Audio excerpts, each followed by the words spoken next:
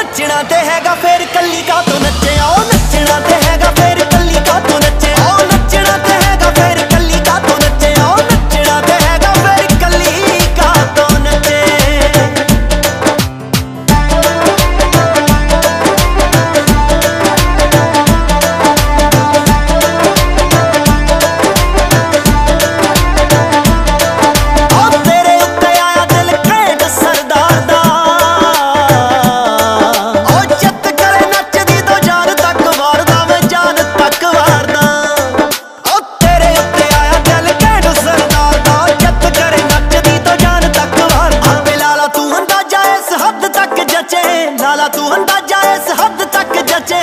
ਨੱਚਣਾ ਤੇ ਹੈਗਾ। ਓ ਨੱਚਣਾ ਤੇ